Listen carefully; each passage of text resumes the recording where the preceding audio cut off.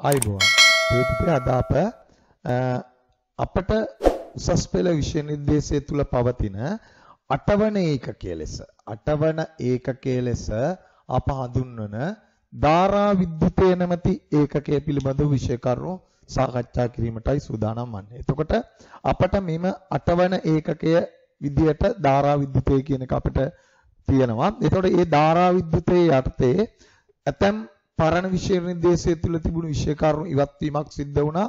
ඒ වගේම අලුත් විෂය නිර්දේශය තුලින් විෂය නිර්දේශය අලුත් වීමෙන් ධාරා විද්‍යුතයට තවත් විෂය කරුණු එකතු වෙලා තියෙනවා.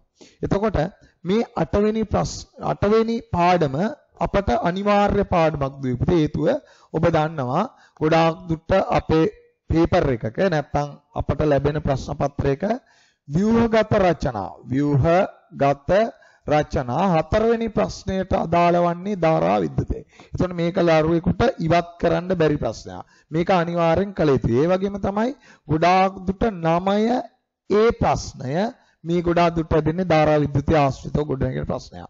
එතකොට 9 හතරවෙනි ප්‍රශ්නෙට ලකුණු සාමාන්‍ය අපි බැලුවාම සංසුද්ධ ලකුණුත් එක්ක ගත්තාම මුළු ලකුණු 10ක් ලැබෙනවා. මේ 9 ඒ ප්‍රශ්නෙට සාමාන්‍ය ලකුණු 15ක් ලැබෙනවා.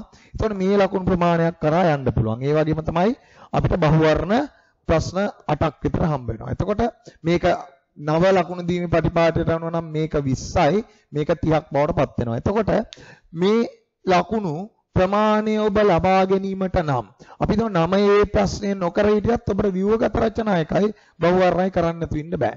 ඒ නිසා මේ පාඩම අත්‍යවශ්‍යයි. ඒ වගේම තමයි ධාරා විද්‍යුතය පිළිබඳව දැනුම හොඳට තිබුණොත් තමයි ඔබට ඉදිරි විද්‍යුත් ශාස්ත්‍ර ඒ වගේම ඉලෙක්ට්‍රොනික විද්‍යාව වැනි පාඩම් තේරෙන්නේ. ඒතකොට මේ ධාරා විද්‍යුතය ගැන ඔබට දැනුම නැත්නම් අඩුයි නම් විද්‍යුත මේ විද්‍යුත් ශාස්ත්‍ර ඉලෙක්ට්‍රොනික කියන පාඩම් ගැනත් ඔබට ලොකු ප්‍රශ්නයක් වෙනවා. ඒ නිසා අපි ඉතා වැදගත් ඒකකයක් ධාරා විද්‍යුතය කියන්නේ මාතෘකාව ලියලා සූදානම් වෙමු සුපුරුදු පරිදි නව ආරම්භයක් නව පාඩමක්. හරි. එහෙනම් ධාරා විද්‍යුතය කියන්නේ මොකක්ද කියලා අපි ඉස්සෙල්ලා චුට්ටක් ලියාගත යුතුයි. නෝට් එක ලියන්න මෙහෙම නෝට් එක ලියන්න නෝට් එක ලියන්න. මෙම ඒකකයේ යටතේ මෙම ඒකකයේ යටතේ මෙම ඒකකයේ යටතේ චලනය වන ආරෝපණ පිළිබඳව චලනය වන ආරෝපණ පිළිබඳව හැදෑරීම සිදු කරයි. හැදෑරීම සිදු කරයි. මෙහිදී ප්‍රධාන වශයෙන් ප්‍රධාන වශයෙන් ධන හා ඍණ ලෙස මේ ලියලා තියෙනවා. ධන හා ඍණ ලෙස.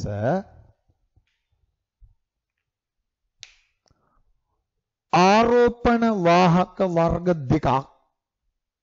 ආරෝපණ වාහක වර්ග දෙකක්. අපට විස්තර කළ හැක. අපට විස්තර කළ හැක.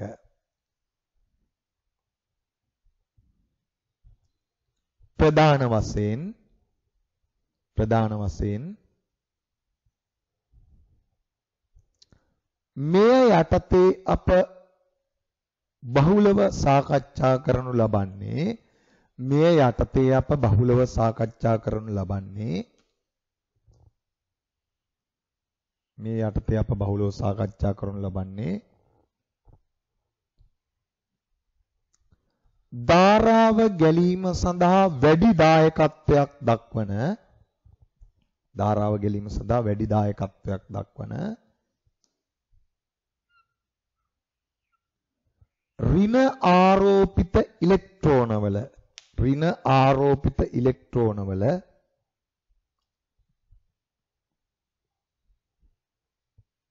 චලිතය පිළිබඳවයි. චලිතය පිළිබඳවයි. එතකොට අපි මීට අමතරව දුවේ පුතේ අපි සාකච්ඡා කරනවා ධන අයන ඒ වගේම ඍණ අයන ඒවා අපි ඉස්සරහට ස්ථಿತಿ විද්‍යුතේ වෙනම ඒකක තියෙනවා ඒවා යටතේ හදාරනවා. එතකොට මේ යටතේදී අපි ගොඩාක් සාකච්ඡා කරන්නේ ඍණාරෝපිත ඉලෙක්ට්‍රෝනය කියන අංශුව පිළිබඳව. එතකොට ඔබ දන්නවා ඉලෙක්ට්‍රෝනය කියන්නේ පරමාණුවේ තියෙන එක් අංශුවක් ඉතා කුඩා අංශුව එයාගේ ආරෝපණය 1.6.2 වැඩි කිරීම 10 ඍණ 19යි කූලෝම්. මේ C කියන්නේ මොකද්ද? කූලෝම් කියන ඒකකය. එතකොට මෙයා තමයි ඉලෙක්ට්‍රෝනයක් චලනය වෙද්දී ලබා දෙන්න පුළුවන් ආරෝපණයේ පද්ධතියට. මේක අපි දැනුවත් යුතුයි රසායන විද්‍යාවේ තියෙනවා. එහෙනම් අපි මෙතනින් එහාට ඍණාරෝපිත ඉලෙක්ට්‍රෝනිය පිළිබඳව මේ චලිතය පිළිබඳව බොහෝ විස්තර සහිතව සාකච්ඡා කරනවා. ඉස්සරළම අපි බලමු මේ පාඩමේ මොකද්ද විද්‍යුත් ධාරාවක් කියන්නේ කියලා. ලියන්න අනුමාත්‍රකාව ධාරාවක් විද්‍යුත් ධාරාවක් කියන කුමක්ද? විද්‍යුත් ධාරාවක් යනු කුමක්ද? යනු කුමක්ද?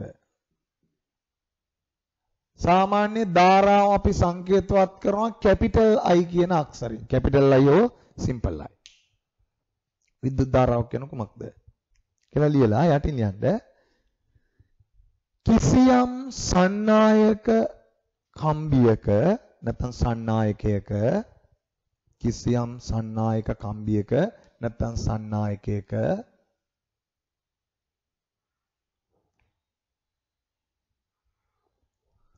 සලකන ලද හරස්කඩක් තුලින් සලකන ලද හරස්කඩක් තුලින්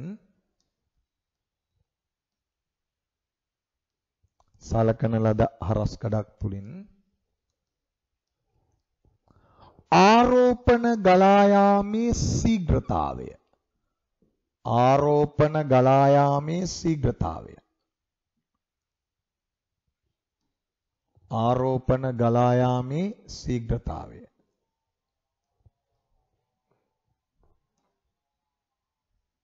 ආරෝපණ ගලා යාමේ ශීඝ්‍රතාවය එහි විද්‍යුත් ධාරාව ලෙස අර්ථ දැක්වේ.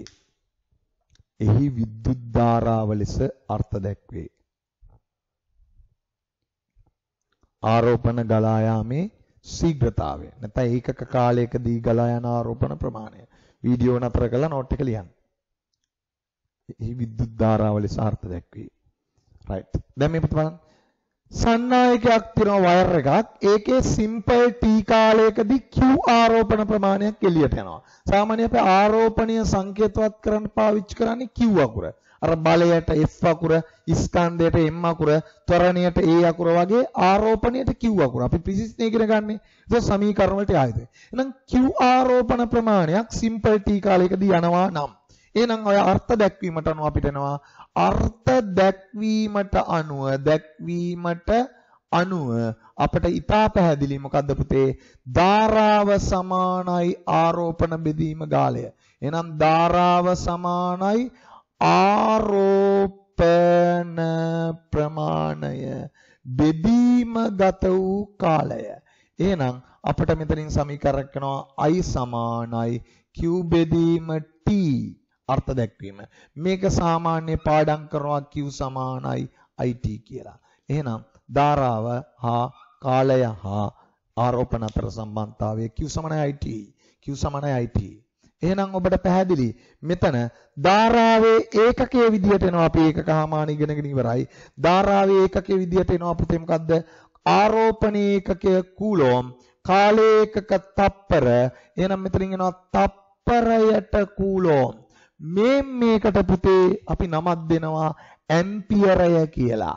තප්පරයකට කූලෝම් එකකට අපි නමක් කියනවා ඇම්පියර් එකක්. ඒ ඇම්පියර් කියලා. එහෙනම් ධාරාව මයින සම්මත ඒකකය ඇම්පියර්. ඇම්පියර් කියන්නේ තප්පරයට කූලම් වලට සමානයි කියලා ඔබ දැනුවත් වේතුයි. ගණ්ඩ නෝට් එක නතර කළා. ඇම්පියර්.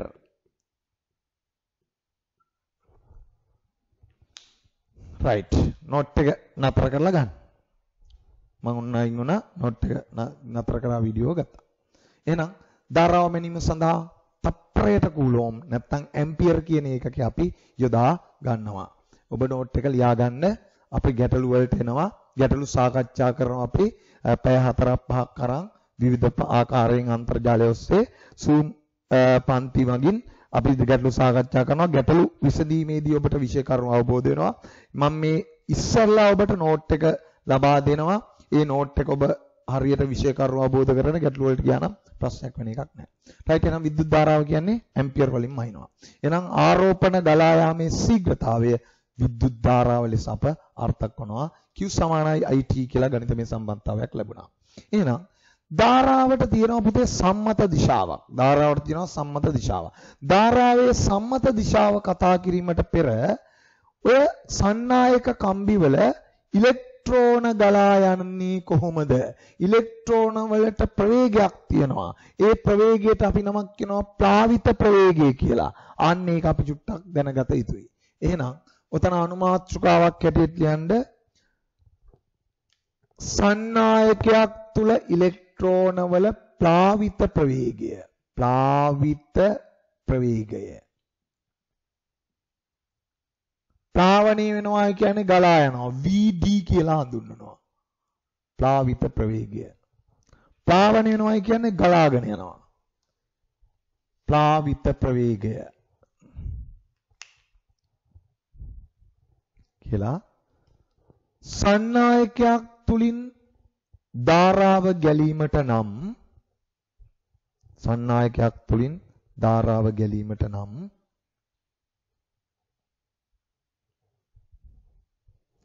එම සන්නායකය තුල අඩංගු ආරෝපිත වාහක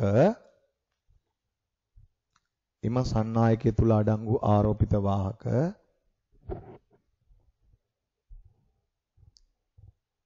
විද්‍යුත් ශේෂ්ත්‍රයක් යොදා ගනිමින් විද්‍යුත් ශේෂ්ත්‍රයක් යොදා ගනිමින්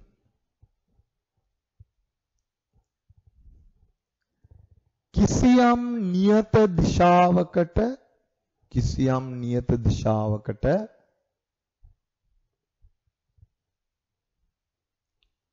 ප්‍රාවණීය කළ යුතුයි. නැත්තම් ගැලීමට සැලැස්විය යුතුයි. ප්‍රාවණීය කළ යුතුයි. මම මේ වචනත් දෙන්න දෙන්නේ. ප්‍රාවණීය කළ යුතුයි නැත්තම් ගැලීමට සැලැස්විය යුතුයි. එනම් මේ බලන්න චුට්ටක්. අපි මෙන්න මේ වගේ සන්නායකයක් ගත්තොත් අපි තුන් මේ තියෙන තඹ කම්බියක් නම් නැත්නම් ඇලුමිනියම් කම්බියක් නම් මෙන්න මේ වගේ සන්නායකයක් ගත්තොත්. අපි හිතමු මෙන්න මේක මම ගන්නවා ඇලුමිනියම් කම්බිය. කම්බිය. මේක තමයි සන්නායකය. Right එතකොට අපි පුංචි කාලේ ඉගෙන ගන්නවා 6 වසරදී ධාරාව ගැලීමට කැමති නම් සන්නායක. ධාරාව ගැලීමට අකමැති නම් ඒවට කියනවා පරිවාරක. හය වසර තියෙනවානේ සන්නායක පහක් ලියන්න. එතකොට ලියනවා ඇනය, අල්පෙනෙත්, ඇට්ට කටුව කියා ලියනවා. පරිවාරක පහක් ලියන්න. එතකොට ලියනවා ඉතින් රෙද්ද, කඩදාසිය අනම්මනම් එහෙම ලියනවා. එතකොට අපි ඒව දන්නවා. ඒ චූටි ඒවට අපි යන්න ඕනේ ඔබට අවශ්‍ය නම් මගේම වීඩියෝවක් තියෙනවා මේ channel එකේ ඔබට බලන්න පුළුවන් 10 ශ්‍රේණිය විද්‍යුතය ආරම්භ වෙන එක. 10 ශ්‍රේණිය විද්‍යුතය සාමාන්‍ය පෙළ මේ වීඩියෝ වලින්ම වගේම වීඩියෝවක් තියෙනවා සාමාන්‍ය පෙළ කියලා ගාලා ඇති. චුට්ටක් නරඹන්නේ ඒක නරඹද්දී ඔයාලට මූලිකවම වැදගත් යුතු කරුණු ඒකේ අඩංගු වෙනවා අන්තර්ගත වෙනවා. රයිට් එයාලයි මේ ප්ලාවිත ප්‍රවේගය එහෙම නැහැ. නමුත් මූලික සිද්ධාන්ත ඕන ෆවුන්ඩේෂන් එක ඕන මෙතෙන්ට එන්න. ඔබ දැන් ඇඩ්වාන්ස් ලෙවල්. එහෙනම් 13 වසර ළමයි නිසා. මේ කම්බියක මෙන්න මේ වගේ ඉලෙක්ට්‍රෝන තියෙනවා පුතේ ඔය ඉලෙක්ට්‍රෝන පරමාණු වල තියෙන නිදහස් ඉලෙක්ට්‍රෝන නැත්තම් මුක්ත ඉලෙක්ට්‍රෝන කියනවා මේවට. මේ නිදහස් ඉලෙක්ට්‍රෝන මේ විදියට තිබ්බට මේවට නිශ්චිත දිශාවක් නැහැ. මෙයා යනවා මේ පැත්තට. මෙයා යන්න හදනවා මේ පැත්තට. මෙයා යන්න හදනවා මේ පැත්තට. මෙයා දුවන්න හදනවා මේ පැත්තට. මෙයා දුවන්න හදනවා මේ පැත්තට. මෙන්න මේ ආකාරයට නිශ්චිත දිශාවක් නොමැතිව චලනය වෙනවා. මේ තමයි විද්‍යුත් ශේෂ්ත්‍රය යෙදීමට පෙර. ශේෂ්ත්‍රය යෙදීමට පෙර. යෙදීමට පෙර. අපි කරන්නේ මොකද්ද? මේ සන්නායක කම්බියට විද්‍යුත් ශේෂ්ත්‍රයක් යොදනවා. මේ මේ චලිතයට කියනවා පුතේ අහඹු චලිතය. අහඹු චලිතය. මෙයාලා නිශ්චිත දිශාවක් නැතුව ඔය යනවා. අහඹු චලිතයක් දක්වනවා. මොකද මේ ඉලෙක්ට්‍රෝන එකතන ඉන්න බෑ. මේවා මුක්ත ඉලෙක්ට්‍රෝන. සාමාන්‍ය පරමාණුවෙන් ඉවත් වෙන්න පුළුවන් අඩු අයනීකරණ ශක්තියකින්. එimhe ඉවත් වෙලා තියෙන ඉලෙක්ට්‍රෝන. එතකොට අපි මේ සන්නායක කැඩල්ලකට මේකටම විද්‍යුත් ශේෂ්ත්‍රයක් ලබා දුන්නොත් ඒ කියන්නේ අපි මෙයාට දෙකලවරට ලබා දෙනවා මේ පැත්තට අපි දෙනවා ඍණාග්‍රය නම් මේ පැත්තට දෙනවා ධනාග්‍රය. මේ විදියට අපි ලබා දෙනවා විද්‍යුත් ශේෂ්ත්‍රයක්. විද්‍යුත් ශේෂ්ත්‍රයක් ලබා දීම. ශේෂ්ත්‍රයක් ලබා දීම. ලබා දීම. දැන් මේ පැත්ත ඍණාග්‍රයට සම්බන්ධ නිසා ඍණ පැත්ත මේ පැත්ත ධනාග්‍රයට සම්බන්ධ නිසා ධන පැත්ත වෙනවා. එහෙනම් මේ තියෙන්නේ ඍණාග්‍රය මේ තියෙන්නේ පුතේ ධනාග්‍රය. දැන් බලන්න මේ විදිහට මම දරදායවතර වීඩියෝ එකක් තියෙනවා. දැන් මේ ඉලෙක්ට්‍රෝන වලට නිශ්චිත දිශාවක් ගන්න සිද්ධ වෙනවා. හේතුව හොඳින් බලන්න මේ ඉලෙක්ට්‍රෝනයක් සැලකුවාම අපි එක ඉලෙක්ට්‍රෝනයක් සැලකුවම ඔබට පැහැදිලි ඍණ ඉලෙක්ට්‍රෝනය මේ පැත්තට දරුවනේ ඍණාග්‍රයෙන් ඍණ විකර්ෂණය කරනවා. මෙයා විකර්ෂණය කරනවා. මේ ධනාග්‍රයෙන් ඍණ ඉලෙක්ට්‍රෝනය ආකර්ෂණය කරනවා. දැන් ඔබට පැහැදිලි එහෙනම් මේ සියලුම ඉලෙක්ට්‍රෝන ඍණ පැත්තෙන් තල්ලු කරනවා ධන පැත්තෙන් අදිනවා. එහෙනම් නිශ්චිත දිශාවකට යන්න හදනවා. මේ තමයි නිශ්චිත දිශාව. නිශ්චිත දිශාව. මේ මේ නිශ්චිත දිශාවට යන්න හදන නිසා ඊට ප්‍රතිවිරුද්ධව හට ගන්නා රාශියට දරුවනේ අපි නමක් කියනවා විද්‍යුත් ධාරාව. එහෙනම් මේ මේ ඉලෙක්ට්‍රෝන නම් ගලන්නේ ඉලෙක්ට්‍රෝන වල චලිතයට ප්‍රතිවිරුද්ධයි. එහෙනම් මේ තමයි ධාරාවේ දිශාව. ධාරාවේ දිශාව I. ඉලෙක්ට්‍රෝන ගලන දිශාවට ප්‍රතිවිරුද්ධයි. ඍණාරෝපණ දිශාවට ප්‍රතිවිරුද්ධයි. එහෙනම් මෙන්න මේ ආකාරයට ඉලෙක්ට්‍රෝන නිශ්චිත දිශාවකට චලනය වෙනවා ඊට ප්‍රතිවිරුද්ධ ධාරාවක් යනවා. දැන් මේ සන්නායකය තුල මේ සියලුම ඉලෙක්ට්‍රෝන චලනය වන පොදු ප්‍රවේගයක් තියෙනවා. ආන් ඒකට අපි නමක් කියනවා ප්ලාවිත ප්‍රවේගය. ප්ලාවණය වෙන ප්‍රවේගය. මේ ඔක්කොම ඉලෙක්ට්‍රෝන වලට පොදු ප්‍රවේගයක් ලැබෙනවා. ඒකට අපි කියනවා ප්ලාවණය වෙන ප්‍රවේගයවත් ප්ලාවිත ප්‍රවේගයේ VD කියලා. right. එහෙනම් ඕක තමයි සාමාන්‍ය સિદ્ધාන්තේ රූප දෙක ඇඳ ගන්නකො ඉස්සලා රූප දෙක ඇඳ ගන්න රූප දෙක ඇඳ ගන්න එතකොට ධාරාවට නිශ්චිත දිශාවක් තියෙනවා මේ. ඉලෙක්ට්‍රෝන ගමන් කරන දිශාවට ප්‍රතිවිරුද්ධයි. රූප දෙක ඇඳලා වීඩියෝ නතර කරලා අඳින්න. යටින් ලියන්න යටින් ලියන්න ඉහත ආකාරයට ඉහත ආකාරයට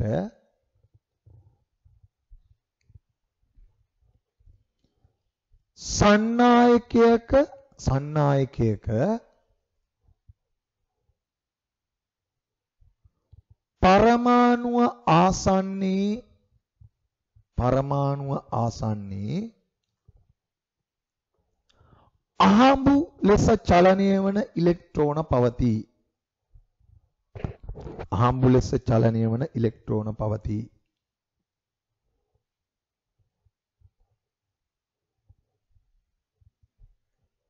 මෙම සන්නායකයේ දෙකලවරට මෙම සන්නායකයේ දෙකලවරට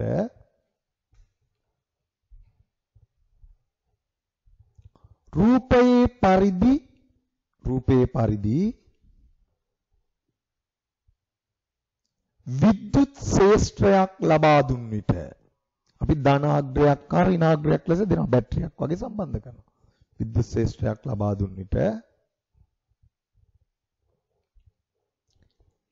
එම ඍණාරෝපිත මුක්ත ඉලෙක්ට්‍රෝන නැත්නම් නිදහස් ඉලෙක්ට්‍රෝන එම ඍණාරෝපිත නිදහස් ඉලෙක්ට්‍රෝන නිශ්චිත දිශාවකට යොමු වේ. මේවා අනිවාර්යෙන් ඇඳගන්න. මෙතනින් විකර්ෂණය මෙතනින් ආකර්ෂණය. නිශ්චිත දිශාවකට යොමු වේ. ඒවා අඳිද්දින් මෙහෙම ලියන්න විකර්ෂණය ආකර්ෂණය කියලා. නිශ්චිත දිශාවකට යොමු වේ. මෙලෙස සියලුම ඉලෙක්ට්‍රෝන මෙලෙස සියලුම ඉලෙක්ට්‍රෝන මෙලෙස සියලුම ඉලෙක්ට්‍රෝන රූපයේ පරිදි රූපයේ පරිදි ඍණ අග්‍රයේ සිට ධනාග්‍රය දෙසට ඍණ අග්‍රයේ සිට ධනාග්‍රය දෙසට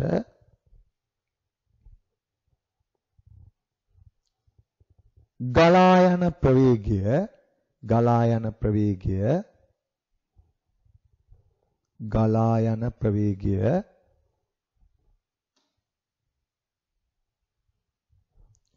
ප්ලාවිත ප්‍රවේගය ලෙස අර්ථ දැක්වේ. ප්ලාවිත ප්‍රවේගය ලෙස අර්ථ දැක්වේ. හයිලයිට් කරන්න එතන සන්නායකයේ ඉලෙක්ට්‍රෝන ගලා යන ප්‍රවේගය ප්ලාවිත ප්‍රවේගය ලෙස අර්ථ දැක්වේ. සන්නායක ඉලෙක්ට්‍රෝන ගලා යන ප්‍රවේගය අපි අර්ථ දක්වනවා ප්ලාවනය වෙන ප්‍රවේගයවත් ප්ලාවිත ප්‍රවේගය කියලා. Right. එතකොට ධාරාවට පුතේ සම්මත දිශාවක් තියෙනවා. ධාරාවේ දිශාව හැම වෙලාවම බලන්න දැන් මේ පරිපතය අපි ලකුණු කරොත් ධාරාව ගලන්නේ මේ පැත්තටනේ අයි අයි ගලන්නේ මේ පැත්තට නෙමේ මේ පැත්තටනේ ගලන්නේ මේ පරිපතේ එන හැම වෙලාවම මේ කෝෂයේ අපි මෙතන කෝෂයක් සවි කරොත් ධනින් ඉවතට ධනින් ඉවතට අපි ඒක ඉස්සරහට සාකච්ඡා කරමු හැම වෙලාවම ධාරාවේ සම්මත දිශාවක් තියෙනවා ධාරාවේ සම්මත දිශාව ධනින් ඉවතට කියන එක උතන දාන්න ඕනේ. එතකොට පැටලෙනවා. හරි. ඊළඟ උතන ප්ලාවිත ප්‍රවේගය සඳහා අපි ගණිතමය සම්බන්ධතාවයක් ලබා ගත යුතුයි. චුට්ටක් මෙහෙම ලියාගමු. ලියන්න උතන රූලක් ඇරලා ඡේදයක් ඇටියට ඡේදයක් ඇටියට. හරස්කඩ වර්ගඵලය සිම්පල් A වූ හරස්කඩ වර්ගඵලය සිම්පල් A වූ හරස්කඩ වර්ගඵලය සිම්පල් A වූ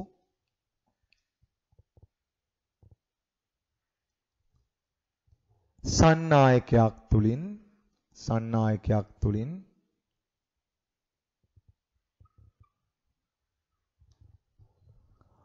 අයි ධාරාවක් ගලා යන්නේ යයි සිතමු. අයි ධාරාවක් ගලා යන්නේ යයි සිතමු.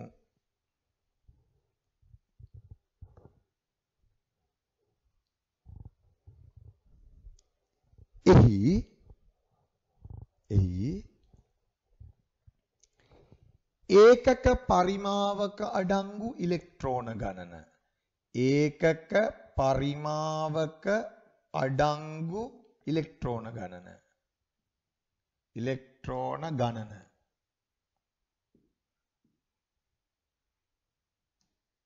ඔකට කියනවා වාහක ඝනත්වය කියලා. වරහන් තුල් ලියන්න වාහක ඝනත්වය. වාහක ඝනත්වය. ඉලෙක්ට්‍රෝන වලට කියන්නේ වාහක. ගමන් කරනවනේ. ගමන් කරනවා නම් යාට කියන්නේ ගෙනියනවා නම් වාහක. ධාරාව රැගෙන යනවා වගේ. වාහක ඝනත්වය. සිම්පල් n යයි සලකමු. සිම්පල් n යයි සලකමු.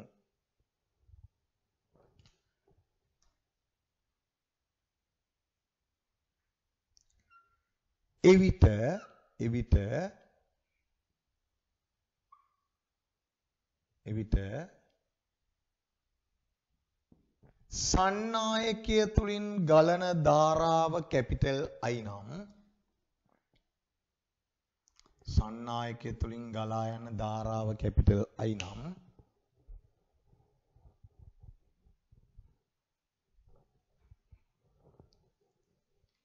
ඉලෙක්ට්‍රෝනවල ප්ලාවිත ප්‍රවේගය VD නම්. මේ තියෙන්නේ? VD ඉලෙක්ට්‍රෝන ගලන දිශාවට ප්‍රතිවිරුද්ධයි ධාරාව එතකොට ඉලෙක්ට්‍රෝන වල ප්ලාවිත ප්‍රවේගය VD නම්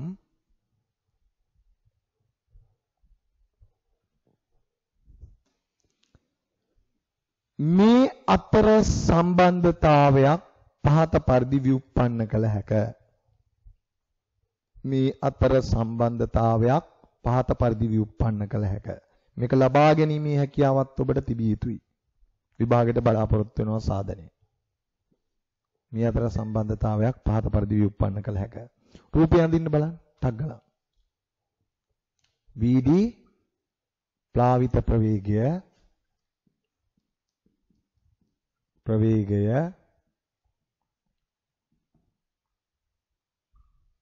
ඒ වගේම ඉලෙක්ට්‍රෝනයේ ආරෝපණය ඉලෙක්ට්‍රෝනයේ ආරෝපණය E කියලා ගන්නවා. අපි අර ගුරුත්වජ ත්වරණය 10 කියන ඉලක්කමට G කියලා නමක් දෙන්නේ. ගුරුත්වජ ත්වරණය 10 නම් ඒක G කියලා කියනවා. ඒ වගේම අවගාඩ්‍රෝ නියතය අපි L කියලා සංකේතය. ඒ වගේම ඉලෙක්ට්‍රෝනී ආරෝපණය 1.6 වැඩි කිම් 10 19යි. ඒකට අපි නමක් කියනවා E කියලා. E නම් දැන් අපිට මෙන්න මේ අතර සම්බන්ධතාවය තියෙනවා. ධාරාව I. ධාරාව I. ඔය පද හඳුන්ලා. දැන් මේ පැත්ත බලන්න. ඔබ දන්නවා හරස්කඩ වර්ගඵලය A. ඒ කියන්නේ හරස්කඩ වර්ගඵලය. හරස්කඩ වර්ගඵලය. වර්ගඵලය. එහෙනම් අපි දන්නවා මෙතන මෙයාගේ ප්‍රවේගය තප්පරයට මීටර් v එහෙනම් මම දන්නවා තප්පර එකකදී සන්නායකයේ ඉලෙක්ට්‍රෝන යන දුර අපි ගත්තාම අපිට තේරෙනවා මීටර් v ප්‍රමාණයක් යනවා metre v metre v v කියන්නේ අතරම vd ප්‍රමාණයක් යනවා ඇයි මෙතන අපි දන්නවනේ vd තප්පරයට මීටර් vd ප්‍රවේගයක් තමයි මුට තියෙන්නේ තප්පරයට මීටර් vd ප්‍රවේගය. ඒතකොට තප්පර එකක් ඇතුළට v දුරක් යනවා. තප්පර එකකදී v දුරක් යනවා. තප්පර එකකදී v දුරක් යනවා. එතකොට v දුරක සම්පූර්ණ ඉලෙක්ට්‍රෝන පිරෙනවා. රයිට් එහෙනම් අපිට ගන්න පුළුවන් නේද? තප්පර එකකදී ඉලෙක්ට්‍රෝන පිරෙන පරිමාව. පරිමාව සන්නායකය තුල අර මෝටර් වල ගණන් වලත් අපි වතුර මෝටර සම්බන්ධව ක්ෂමතාවයේ ගණන් වලත් තප්පරයට පරිමාව වෙනවනේ ඊළඟ තප්පරයට ස්කන්ධය වෙනවනේ. ඒ වගේ තමයි. තප්පර එකකදී ඉලෙක්ට්‍රෝන පිරෙන පරිමාව අපිට ගන්න පුළුවන්. ඔබ දන්නවා හරස්කඩ වර්ගඵලයේ තප්පරයට දිගෙත් ගුණිතයට සමානයි. එහෙනම් මෙතන එනවා හරස්කඩ වර්ගඵලය වැඩි කිරීම තප්පර එකකදී දිග. දිග කියන එක. එහෙනම් නලේ දිග. නැත්තම් සන්නායකේ දිග. එහෙනම් හරස්කඩ වර්ගඵලය සිම්පල් A තප්පරයට දිග මොකද්ද පුතේ? VD දැන් මේක සංකේතයක් නිසා තමයි අවුලක. 10යි ms ශ්‍රේණියක වගේ තිබ්බනම් අපි දන්නවා. තප්පරයට මීටර 10යි කියලා දන්නවා. මේක සංකේතයක් ඒක තේරුම් ගත යුතුයි එහෙනම් තප්පරයට දුර VD එහෙනම් මෙතන තප්පර එකකදී ඉලෙක්ට්‍රෝන පිරෙන පරිමාව ඔන්න ආවා දැන් එහෙනම් ඒකක පරිමාවක අඩංගු ඉලෙක්ට්‍රෝන ගණන n එහෙනම් මේ පරිමාවය අඩංගු ඉලෙක්ට්‍රෝන ගන්න අපිට බෑද? පුළුවන්. කොහොමද යන්නේ? එම නිසා තප්පර එකකදී මෙම පරිමාවේ පරිමාවේ අඩංගු ඉලෙක්ට්‍රෝන ගණන ඉලෙක්ට්‍රෝන ගණන තප්පර එකකදී මෙම පරිමාවේ අඩංගු ඉලෙක්ට්‍රෝන ගණන අපිට එනවා. මේ බලන්න ඒකක පරිමාවක් පාන් රාත්තලක මිල එන්නම් මේකක මිල කීයද? එහෙනම් මෙතනින් අපිට පුළුවන් ඒකක පරිමාවක තියෙන ඉලෙක්ට්‍රෝන ගණන අර ආව පරිමාවෙන් වැඩි කරනවා. එහෙනම් අපිට තියෙන්නේ ඒකක පරිමාවක ඉලෙක්ට්‍රෝන ගණන n අපිට දැන් තප්පරයට පරිමාව ආවා මොකද්ද? AVD කියලා. එහෙනම් n වැඩි කිරීම AVD කියලා එනවා. right එහෙනම් මේනේ තප්පර එකකදී මෙම පරිමාවේ අඩංගු ඉලෙක්ට්‍රෝන ගණන. ඉලෙක්ට්‍රෝන ගණන ආරෝපණය නෙමෙයි. ඔතෙන්ට යනකල් ගන්න. ඔන්න මං අයින් වුණා වීඩියෝ නතර කරලා ගත්තා. ඔන්න අයින් වුණා වීඩියෝ නතර කරලා ගත්තා. ඔන්න මැකුවා. දැන් කෑ ගහන්න එපා, මකන්න එපා, මකන්න එපා කියලා පන්තියේ වගේ හේතුව ඔබට වීඩියෝ නතර කරලා ලියා ගන්න පුළුවන්. රයිට් තව මම දැන් ගන්නම් මෙතන. ඒකයි මේක පැයකින් ඔබට මේ විෂය කරු දෙන්නේ. හැබැයි ඔබ මේ නෝට් එක ලියද්දිම පැය 3ක් විතර යයි. හරියට අවබෝධයෙන් ලියනවා නම් නතර කර කර. රයිට් එහෙනම් දැන් ආයෙ ගන්න පුළුවන්. මෙන්න මෙතනින් පස්සේ ආයෙ උඩට තප් තප්පර එකකදී මං ගන්නවා ආරෝපණය මොකක්ද කියලා. ආරෝපණය සමානයි අපිට පේනවා තප්පර එකකට ඉලෙක්ට්‍රෝන ගණන මෙච්චරයි. එහෙනම් ඉලෙක්ට්‍රෝන ගණන ඉලෙක්ට්‍රෝන ගණන වැඩි කරනවා ඉලෙක්ට්‍රෝනීය ආරෝපණයෙන්. ඉලෙක්ට්‍රෝනී ආරෝපණයෙන්. ආරෝපණයෙන් වැඩි කරනවා. ඉලෙක්ට්‍රෝන ගණන ඉලෙක්ට්‍රෝනීය ආරෝපණයෙන් වැඩි කරනවා. ආරෝපණයෙන් වැඩි කරනවා. එහෙනම් ඔබට පැහැදිලි මෙතන ඉලෙක්ට්‍රෝන ගණන අපි ගත්තා n වතාවක් a වතාවක් vd. මම කිව්වා ඉලෙක්ට්‍රෝනයේ ආරෝපණය 1.6 වැඩි කිරීම 10 ඍණ 19. නමුත් ඒකට අපි පාවිච්චි කරන්නේ සංකේතය වතාවක් e. අර ගුරුත්වජ තරණේ G දාන්නේ අපි mg කියලා දාන්නේ ඒ වගේ තමයි. එතකොට මේ සමහර අය මෙතන ස්කන්ධයේ කිලෝග්‍රෑම් 10 නම් 10යි G කියලා දානවා. ඒ ග්‍රෑම් 10 නෙමෙයි ගුරුත්වජ තරණේ කියන සංකේතය. එහෙනම් මෙතන ආරෝපණය වැඩි කරනවා. ඕන නම් ළමයෙකුට ඕක 1.6 වැඩි කින් 10 රින් දාන මේ දාන්න පුළුවන්. අපි ආරෝපණය වැඩි කරා. එහෙනම් මේන්නේ මොකද්ද දරුවනේ?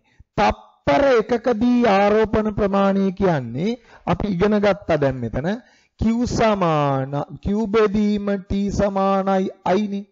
එහෙනම් ඔබට පැහැදිලි තප්පර එකකදී q ආරෝපණය ඒකක කාලයකදී ආරෝපණය ඒකක කාලයකදී ආරෝපණය තප්පරයකට ආරෝපණය කියන්නේ වෙනත් විදිහකින් කියනවා නම් ධාරාව මේ ඉන්නේ ධාරාව එහෙනම් අපිට එනවා ධාරාව i නම් i සමානයි.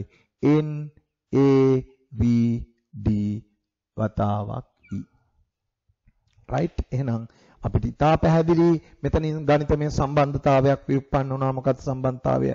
I සමානයි. ඕක සාමාන්‍ය පාවිච්චි කරනවා a n a n v e කියලා.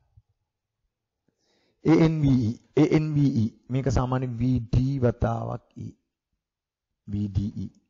Right ඔය තමයි ප්ලාවිත ප්‍රවේගය ආශ්‍රිතව ගණිතමය සම්බන්ධතාවය. දරුවෙකුට ඕන නම් ඕක ප්ලාවිත ප්‍රවේගය උක්ත කරලා පාඩම් කරන්නත් පුළුවන් VD සමානයි. I බෙදීම A N E කියලා. මේකත් හරි. ඔබට කිව්ව ප්ලාවිත ප්‍රවේගය හා මේ අතර සම්බන්ධතාවයක් උපන්න කර කියලා ඕක දැනුවත් දිය යුතුයි. මම හිතන්නේ සාධනයේ තීරණා ඕක සාධනය කිරීම මෑත කාලීනව පාව විභාගෙට ආවා. Right. මකනවා මං ඔබ වීඩියෝ නතර කළා. හිමින් ලියාගන්න. I සමානයි ANVT කියලා. ඕක දරුවෙකුට ඉලෙක්ට්‍රෝනයම නැතුව පොදුවේ ආරෝපණය කියලා ගත්තොත් මොකද මං කියන්නේ ඉලෙක්ට්‍රෝනම විතරක් නෙමෙයි ධාරාව ගලන් දෙන්නේ. ඔබ ඉස්සරහා පාඩම් වලදී ඒවා ඉගෙන ගන්නවා භාගෙට නෙමෙයි. එතකොට අපි හිතමු පොදුවේ Q කියලා ආරෝපණ ප්‍රමාණයක් යනවා. Q ආරෝපණයක් යනවා. ඔය Q කියන්නේ ඉලෙක්ට්‍රෝනයට වෙන්න පුළුවන්. ඔය Q කියන්නේ සෝඩියම් ඇලුමිනියම් ධන තුන ආයනයට වෙන්න පුළුවන්. ඔය Q කියන්නේ තවත් මොකක් හරි ආයනයකට වෙන්න පුළුවන්. නිසා Q කියන එක්කෙනාට නමක් දෙනවා. පොදුවේ Q කියලා ගත්තොත්. ඔය සමීකරණ ළමයිකට පාඩම් කරන්න පුළුවන් I සමානයි A N Q V කියලා. ඒ කියන්නේ මේ මෙයා වෙනුවට මෙතනට V මෙතන Q කියලා පාඩම් කරන්න පුළුවන්. එතකොට මේ ඉලෙක්ට්‍රෝනය වෙනුවට ළමයාට Q කියලා පාඩම් කරන්න පුළුවන්. එතකොට ඉලෙක්ට්‍රෝනය නම් ඔය Q කියන්නේ 1.6 වැඩි කිම් ධාරින 19. අර Q කියන එක නා පොදුවේ ඕනම අයනයක් අපිට ගන්න පුළුවන්. ඒ නිසා මේ සමීකරණ මෙහෙම පාඩම් කරත් අවුලක් නැහැ පොතපතේ ඔබ දකීවි. නමුත් අර බහුතරයක් ලෙස වාහක ගමන් කරන්නේ ඉලෙක්ට්‍රෝන දාමයි ධාරාව ඇති කිරීමට සාමාන්‍ය ජීවිතයේදී. ඒ නිසා අපි පාවිච්චි කරනකොට E කියන වචනේ. එහෙනම් I සමානයි ඔය A N Q V කියන සමීකරණය අපට වැදගත් වෙනවා. සාමාන්‍යව කටට උරු නම් ඊ ආකාරයට i සමානයි a n q v. හැබැයි මේ v කියන්නේ විභවාන්තරය නෙමේ ප්ලාවිත ප්‍රවේගය. q කියන්නේ ආරෝපණය. right. එහෙනම් ප්ලාවිත ප්‍රවේගය ආරෝපණය අතර සම්බන්ධතාවය ඔය. ඊළඟ ඔය ප්ලාවිත ප්‍රවේගය ගත්තට පස්සේ උතනින් ධාරා ඝනත්වය කියලා එකක් අපට අර්ථ දක්වන්න පුළුවන්. ලියන්න අනුමාත්‍රිකාව ධාරා ඝනත්වය. ධාරා ඝනත්වය. සාමාන්‍ය ධාරා ඝනත්වයේ J අකුරෙන් සංකේතවත් කරනවා. J කියලා ලියන්න උතන සන්නායක මිලදී ගැනීම හා භාවිතයේදී සන්නායක මිලදී ගැනීමේදී හා භාවිතයේදී එය එහි එහි එහි වර්ග මිලිමීටරයට ඇම්පියර් ලෙස වර්ග මිලිමීටරයට ඇම්පියර් ලෙස ප්‍රායෝගිකව මෙය සටහන් කර ඇත. ඔකේ 11ව තරත් උගන්වනවා විද්‍යුතයර්ථේ. ප්‍රායෝගිකව මෙය සටහන් කර ඇත. කියන්නේ මෝටරයට සම්බන්ධ කරන කම්බියයි ඒ වගේම චූටි LED බල්බ් වලට සම්බන්ධ කරන වයර් එකයි වෙනස්. මොකද මෝටරේට වැඩි ධාරාවක් ගන්න නිසා ධාරා ඝනත්වය වැඩි මහත වයර් එකක් පාවිච්චි කරනවා. LED රහණක් අපි වයරින් කරන්නේ චූටි ධාරාවක් ගන්නේ චූටි වයර් එකක් පාවිච්චි කරනවා. එතකොට ඒ වයර් එක හොඳට බලන්නකෝ අත්කාචයක් කරන ඕක ගහලා තියෙනවා. එතකොට මේවා ඇත්තටම වැදගත් වෙනවා. ඔබ විභාගේ පාස් වීමට පමණක් නොවේ. සටහන් කර ඇත. මෙය මෙය ධාරා ඝනත්වය නැමැති රාශියයි. ධාරා ඝනත්වය නැමැති රාශියයි.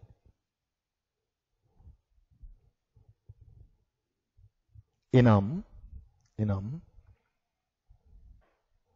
අලුත් රූලකින් ලියන්න අලුත් රූලකින් ලියන්න අලුත් රූලකින් ලියන්න අලුත් රූලකින් ලියන්න. ඒකක වර්ගඵලයක් තුලින් ගලා යන ධාරාව.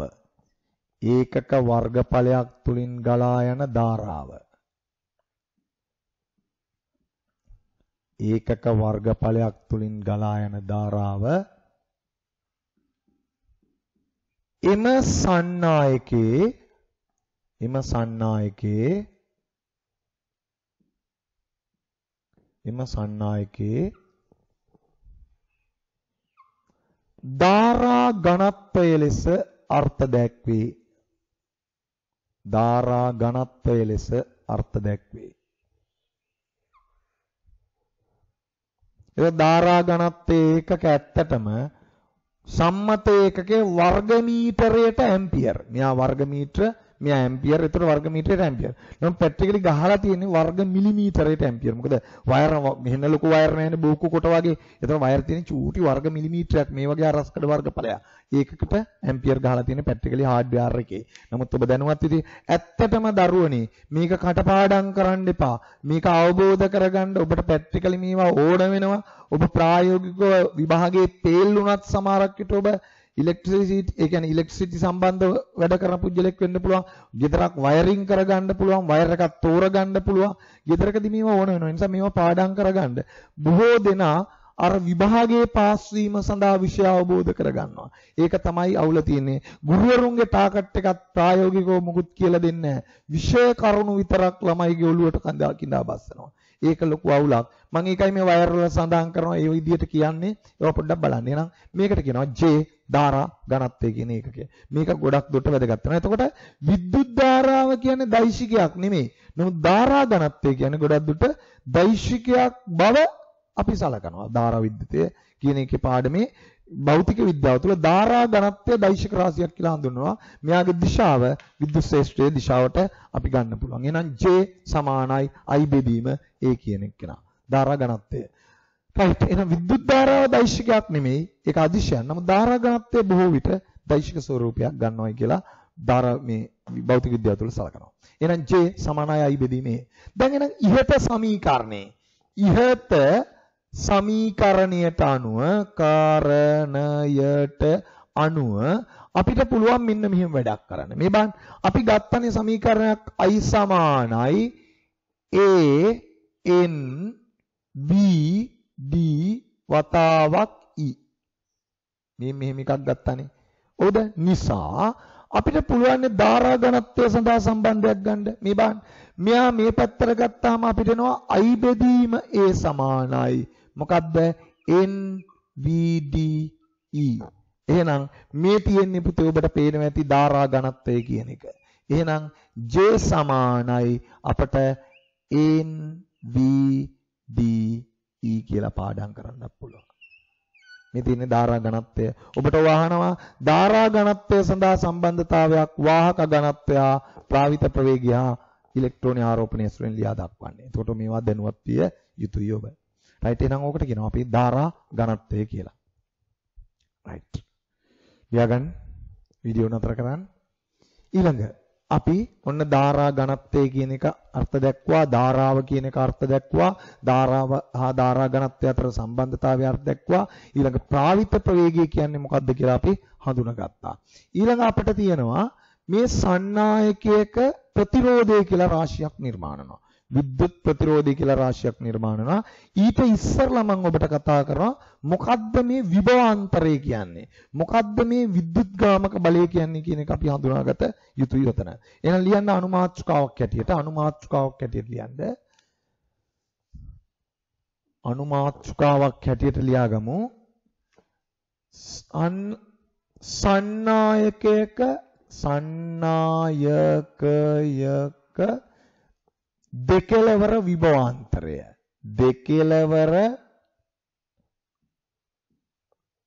විභව අන්තරය විභව අන්තරය වරාන් තුල සාමාන්‍ය අපි ඔක v කියලා සංකේතවත් කරනවා. ඒකයි ප්ලාවිත ප්‍රවේගයට vd දාන්නේ. නැත්තම් විභවාන්තරයයි ප්‍රවේගයයි ඔබ පටල ගන්නවා. සන්නායකක දෙකලවර විභවාන්තරය. කියලා මේ පැත්ත බලන්න. ඔබ දන්නවා සාමාන්‍ය වතුර ගලාගෙන යන්න නම් මේ විදියට අපි හිතමු මධ්‍යම කඳු කරේ මෙහෙම කඳු තියෙනවා මෙහෙම තියෙනවා ජලාශයක් තියෙනවා.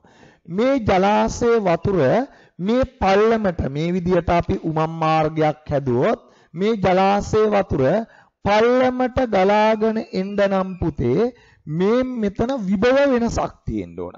මෙතෙන්ට සාපේක්ෂව මෙතන විභව වෙනසක් තියෙන්න ඕන. ඔය විභව වෙනස තමයි අපි ගන්න MGH කියලා.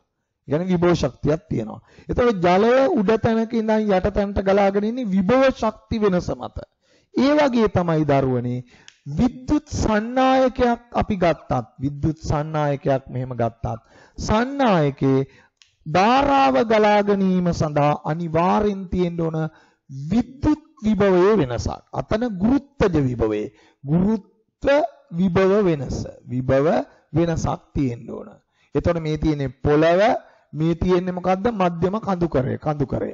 එතකොටයි පහළට මාවැලි කෙලණි වලවේ කළු යන ගංගා සමනල ගන්ධ මුදුනේ සිට වෙන්නංගා. එහෙමනේ කියන්නේ. එහෙනම් මේ යටට එන්න ඕනේ. මේවා මෙහාට යන්නේ නෑනේ. ගඟක් අනිත් පැත්තට ඩුගම්බලා. එහෙනම් මෙන්න මේ වයර් එකේ මේ පැත්තට කරන්ට් එක එනම් මෙතනයි මෙතනයි තියෙන්න ඕන පුතේ මොකද්ද? ගුරුත්වජ විභව වෙනසක් නෙමෙයි විද්‍යුත් විභව වෙනසක්. විභව වෙනසක්. මේ විද්‍යුත් විභවයේ වෙනසට දරුවනි අපි නමක් කියනවා එහි විභව අන්තරය කියලා. එහෙනම් සන්නායකයක සලකන ලද ලක්ෂ දෙකක් අතර විද්‍යුත් විභවයේ වෙනස අපි හඳුන්වනවා එහි දෙකලවර විභවාන්තරය කියලා. රයිට් ලියාගන්න එනවා. එතන යට ලියාගන්න. සන්නායකයක සලකන ලද ලක්ෂ දෙකක් අතර සන්නායකයක සලකන ලද ලක්ෂ දෙකක් අතර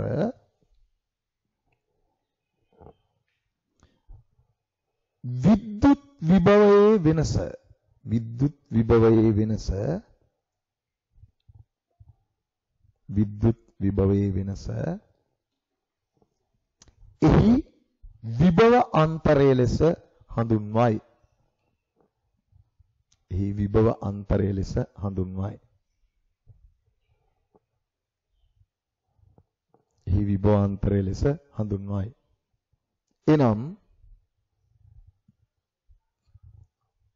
වාහක ආරෝපිත වාහක චලනය වෙමින් ආරෝපිත වාහක චලනය වෙමින් දැන් ජලය වුණත් චලනය වෙන්නේ ගුරුත්වජ විභව වෙනසකට. එකම මට්ටමේ නම් චලනය වීම අමාරුයි. ආරෝපිත වාහක චලනය වෙමින් ධාරාවක් ලබා දීමට නම් ධාරාවක් ලබා දීමට නම්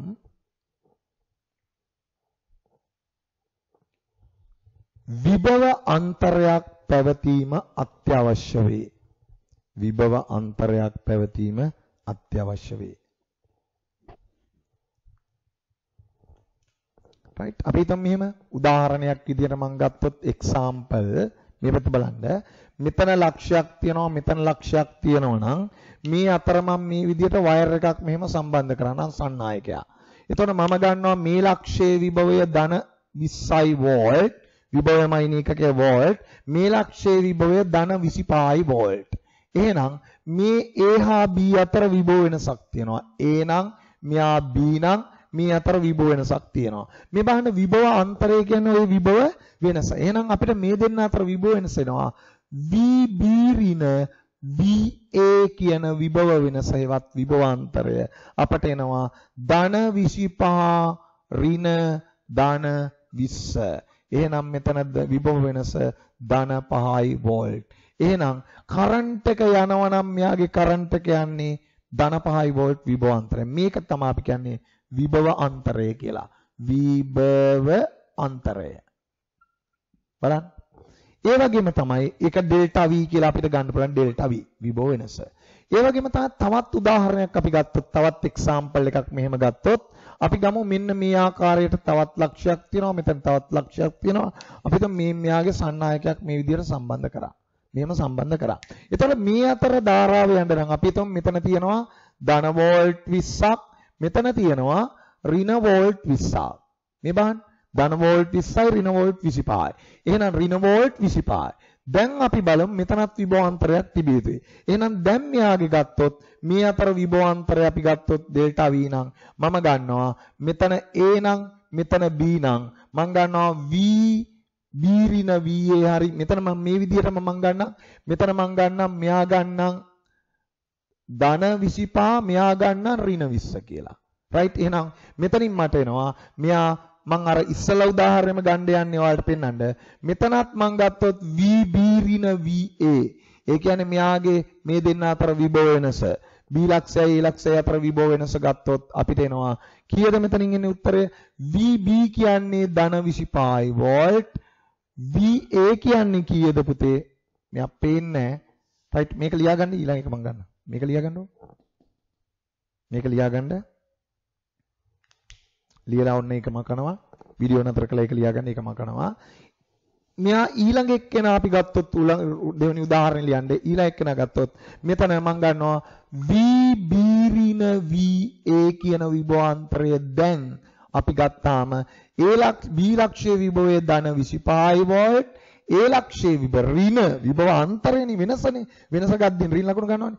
මේ මේ A ලක්ෂයේ විභව දාන්නේ ඍණ 20 වෝල්ට් අන්න එතකොට පුතේ බලන්න මෙතන එනවා ධන 25යි ඍණයි ඍණයි ධන වෙලා ධන 20යි අන්න උත්තරේ එතකොට පහ නෙමේ පුතේ වෝල්ට් 45 එහෙනම් මේ දෙන්න අතර විභවාන්තරය වෝල්ට් 45 ඔබට තේරෙන්නේ නැති මේ උදාහරණ දෙක. ඉස්සලා ධන 20යි ධන 25යි නම් ධන වෝල්ට් 5යි දැන් ඍණ 20යි ධන 25යි නම් මේ පැහැදිලිවම මේ අඩු කරන්න නිකිල පාවිච්චි කළා. එතකොට මේ දෙන්න අතර වෝල්ටේජ් එක අපි ප්ලග් එකකට මෙහෙම සිදුරු දෙකට ඇඟිල්ල දැම්මොත් වෝල්ට් 45න් කරන්ට් එක වදිනවා. එහෙනම් මේ තමයි විභව අන්තරය නැත්නම් විභව වෙනස කියන්නේ. එහෙනම් පැහැදිලිවම ලක්ෂ දෙකක් අතර පවතින විභව වෙනස අපි හඳුනනවා විභව අන්තරය කියලා.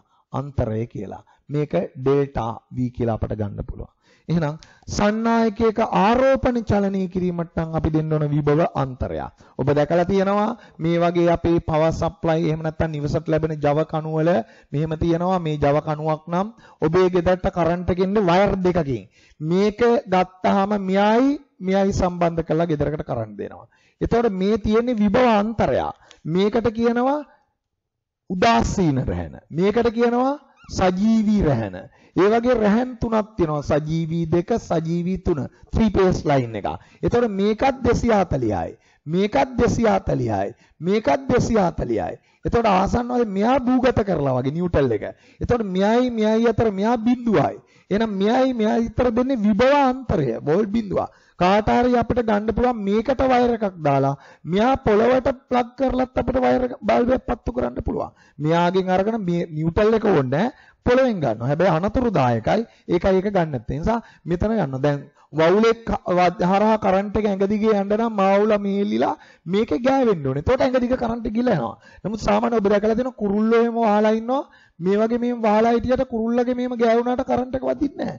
හේතුව මේ දෙන්න අතර විභවාන්තරයක් නැහැ. හේතුව 240 ඍණ 240 කීයද උත්තරේ 20යි. එහෙනම් වෝල්ටේජ් එකේ වෙනසක් නැහැ. එතකොට මේ මෙයයි මෙයයි හරි මෙයයි මෙයයි හරි මෙයයි මෙයයි හරි ගැවුරු විභවාන්තරයක් අපිට දෙන්න පුළුවන්. නිසා මේවා 11 වසරදිත් තියෙනවා පුතේ මේ විදිහට. ඒ නිසා විභවාන්තරයක් ලබා දිය යුතුයි ධාරාව ගැලීමට නම් විභවාන්තරය කියන්නේ යම් ලක්ෂ දෙක අතර විභවයේ වෙනස. ඔබට ඒක තේරුව යුතුයි. ඉස්සරහට අපි කතා කරනවා විද්‍යුත්ගාමක බලය කියලා රාශියකුත්. කෝෂයකින් අපි ලබා දෙනවා විද්‍යුත්ගාමක බලය. ඒතර විද්‍යුත්ගාමක බලයයි විභවාන්තරයයි මොකක්ද කියලා අපි දැනුවත් විය යුතුයි. රයිට් එහෙනම් දෙකලවර විභවාන්තරය කියන්නේ ඔන්න ඔකට. අපි නෝට් එක මම හිතන් ලියාගත්තා. බලන්න ලියාගත්තද කියලා. සන්නායකයක සලකන ලද ලක්ෂ දෙකක් අතර විභවයේ පවතින වෙනස අපි හඳුන්වනවා විභවාන්තරය කියලා. ඒකට උදාහරණයක් ගත්තා. රයිට් එහෙනම් ධාරාව ගැලීමට නම් ඔබ හඳුනාගත යුතුයි විභවාන්තරයක් පවත්වා ගත යුතුයි. රයිට් ඔතන තරලකුණක් දාලා ලියන්න. තරලකුණක් දාලා ලියන්න. විභව අන්තරය මැනීම සඳහා විභව අන්තරය මැනීම සඳහා වෝල්ට් වරහන් තුල V වෝල්ට් වරහන් තුල V අතන ඇම්පියර් නේ ධාරාවමයින්නේ විභවාන්තරයමයින්නේ වෝල්ට් වෝල්ට් නැමැති ඒකකය භාවිතා කරන අතර නැමැති ඒකකය භාවිතා කරන අතර මෙය මැනීමට අවශ්‍ය නම් වීඩියෝ නතර කළා මේක ඇඳ ගන්න මං හිතන්නේ ඕන්යාට අවසර තියෙනවා. මෙය මැනීමට අවශ්‍යයි ඇඳ ගන්න. Taman දන්නේ Tamanට අට වසර දැනුම තියනවාද කියලා. මෙය මැනීමට වෝල්ට් මීටරය නැමැති ඒකකයේ භාවිතා උපකරණය භාවිතා කරයි. වෝල්ට් මීටරය නැමැති උපකරණය භාවිතා කරයි. වෝල්ට් මීටරය නැමැති උපකරණය භාවිතා කරයි. මේක කළු මේක රතු තියෙනවා. රතු කියන්නේ ධනාග්‍රය කළු කියන්නේ ඍණාග්‍රය. වෝල්ට් මීටරය නැමැති උපකරණය භාවිත කරයි. මේකේ කළු පාට ඇණයක් තියෙනවා කළු පාට ඇණේ ඍණ රතු පාට ඇණේ දැන. එතකොට තමයි මේක නිවැරදි දිශාවට උක්‍රමණය වෙන්නේ. ඇණ දෙක මාරු කරොත් අනිත් පැත්තට කරගෙන්නේ. භාවිතා කරයි. එය සම්බන්ධ කළ යුත්තේ ධන ධනටත් ඍණ ඍණටත්. එය සම්බන්ධ කළ යුත්තේ ධන ධනටත් ඍණ ඍණටත් ලෙසයි. බැටරියේ ධන වෝල්ට් මීටරයේ ධනටත් තිබිය යුතුයි. බැටරියේ ඍණ පැත්ත වෝල්ට් මීටරයේ ඍණට තිබිය යුතුයි. එහෙම වුණොත් තමයි නිවැරදිව මේක උක්‍රමණය වෙන්නේ. නැත්නම් කටුව මේ පැත්තට වෙනවා. කටුව මේ පැත්තට උක්‍රමණයලා පාට අංක පෙන්වන්න ඕනේ. right එහෙනම් ඔන්න විභවාන්තරය කියන එක විභවාන්තරය කියන්නේ එතකොට යම් ලක්ෂ දෙකක් අතර විභවයේ වෙනස. විභවය කියන්නේ මොකක්ද කියලා අපි ස්ථಿತಿ විද්‍යුතය අඳුර ගන්නවා. ස්ථಿತಿ විද්‍යුතය මම එකයි කිව්වේ ධාරා විද්‍යුතය හරියට දැනගනියව කියලා. විභවය අපි අර්ථ කරන අනන්තයේ සිට ඒකක ධන ආරෝපණයක් සලකන ලද ලක්ෂයක් විතර ගැනීම සඳහා කළ යුතු කාර්ය ප්‍රමාණය එම ලක්ෂ්‍ය විභවය ලෙස අර්ථ දක්වේ. ඒවා ඉස්සරහට තියෙනවා ඈ. රයිට් එහෙනම් ඔන්න සන්නායකයක දෙකලවර විභවාන්තරය කියන එක අපි දැනගත්තා. එහෙනම් ඔය විභවාන්තරය වැදගත් වෙන්නේ අපි යම් සන්නායකයකට විභවාන්තරයක් ලබා දුන්නාම තමයි විද්‍යුත් ශ්‍රේෂ්ඨයක් නිර්මාණය වෙලා ධාරාවක් ගලන්නේ. තරකුණක් දැල්ලිය. යම් සන්නායකයක් තුලින් ධාරාව ගැලීමට නම් යම් සන්නායකයක් තුලින් ධාරාව ගැලීමට නම්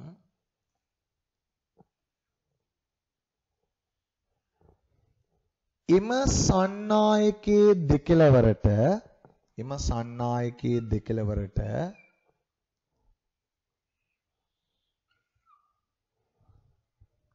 කෝෂයක් හෝ විද්‍යුත් සැපයුමක් භාවිතයෙන් කෝෂයක් හෝ විද්‍යුත් සැපයුමක් භාවිතයෙන්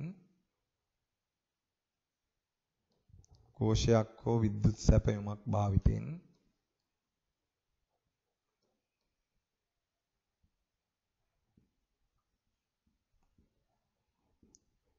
විභව අන්තරයක් විභව අන්තරයක්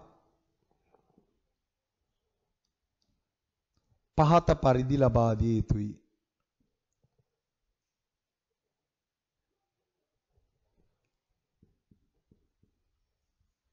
එවිට අපි තුමු කාර් බැටරියක් දාලා කියලා. එවිට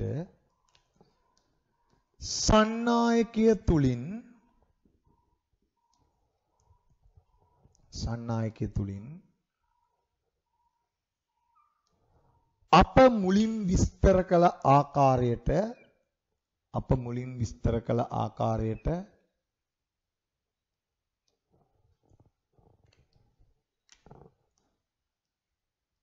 ඍණ ආරෝපිත ඉලෙක්ට්‍රෝන චලනය වේ.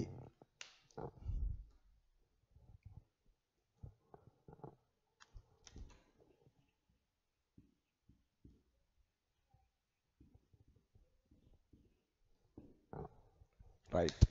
එතකොට මේ පැත්ත බලන්න. ඉස්සලත් මේ රූපයන් දා මේ කෝෂයේ ධනාග්‍රයෙන් ආකර්ෂණය කරනවා. කෝෂයේ ඍණාග්‍රයෙන් විකර්ෂණය කරනවා. එතකොට ඉලෙක්ට්‍රෝන ප්ලාවිත ප්‍රවේගයක් ලැබෙනවා. එතකොට ඉලෙක්ට්‍රෝන ගලා යන්නේ මේ පැත්තට. මේ බලන්න. ඉලෙක්ට්‍රෝන වල දිශාව මෙහාට. ඉලෙක්ට්‍රෝන ගලන දිශාව. ඔබට පැහැදිලි හැම වෙලාවෙම දරුවනී ධාරාව යන්නේ ඉලෙක්ට්‍රෝන චලනය වන දිශාවට ප්‍රතිවිරුද්ධ. එහෙනම් ධාරාවේ දිශාව මේ පැත්තට. ධාරාවේ දිශාව. නිසා හැම වෙලාවම මතක තියාගන්න ධාරාව ගලන්නේ ඉලෙක්ට්‍රෝන චලන වෙන දිශාවට ප්‍රතිවිරුද්ධයි. ඒ කියන්නේ ධනින් ඉවතට. ඔබ දන්නවනේ මේ පැත්තට කියන්නේ මෙතනින් මෙහෙම උඩට. එතකොට මේ පැත්තට කියන්නේ මෙතනින් මෙහාට. මෙහාට මෙහෙම ධාරාව යනවා. එහෙනම් ධාරාව යන්නේ හැම වෙලාවෙම කෝෂයක ධනින් ඉවතට. ධාරාවේ දිශාව ධනින් ඉවතට. එහෙනම් මේ ධාරාවේ සම්මත දිශාවක් තියෙනවා. සම්මත දිශාව විද්‍යුත් ශේෂ්ත්‍රයේ දිශාවයි. දිශාව කෝෂයේ ධනින් ඉවතට. කෝෂයක ධනින් ඉවතට. එහෙම නැත්නම් මේක ළමයෙකුට කියන්න පුළුවන් විද්‍යුත් ශේෂ්ත්‍රයේ දිශාව. විද්‍යුත් ශේෂ්ත්‍රයේ දිශාව. ශේෂ්ත්‍රයේ දිශාවයි සම්මත දිශාව. රයිට් එතකොට මේක තවදුරටත් ළමයෙකුට කියන්න පුළුවන් ඉලෙක්ට්‍රෝන ගලන ඍණාරෝපිත ඉලෙක්ට්‍රෝන ඍණ ආරෝපණ ගලන දිශාවට ප්‍රතිවිරුද්ධයි. ප්‍රතිවිරුද්ධයි. මාර වැදගත්. ඒ වගේම තව ළමයකට ගන්න පුළුවන් ධන ආරෝපණ ගලන දිශාව. ධන ආරෝපණ ගලන දිශාවම වේ. ගලන දිශාවම වේ.